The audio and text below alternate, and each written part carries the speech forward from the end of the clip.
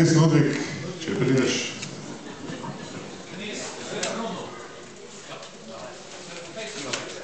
Čestitam, Ludvik.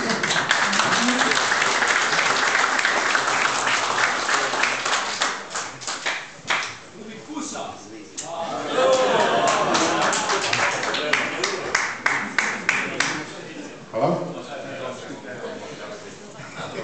Glejte, eh, v lanskem letu smo pa tudi izgubili eh, tri člane našega društva, kot vsako